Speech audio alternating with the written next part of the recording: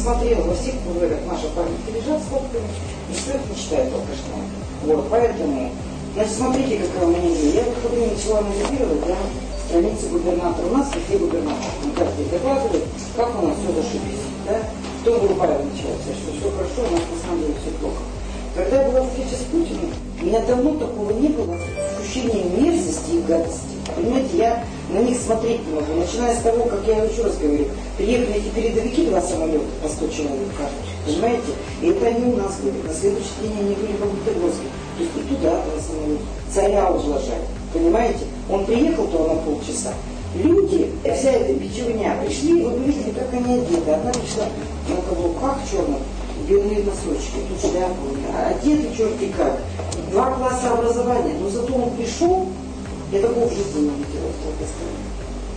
Господи, отец родник тебе, а похудел-то как, а выглядит-то как ну, конечно, не жалеет себя, не щадит себя.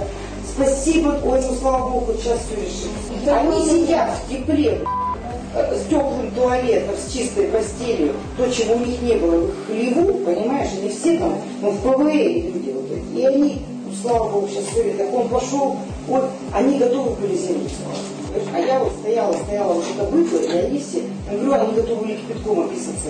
А я даже фотографировать там, э, одна подбегает, подайте мне фотографию. Я так посмотрела на нее. А, губернатор сказал, что я должна находиться в Туруне. Ну,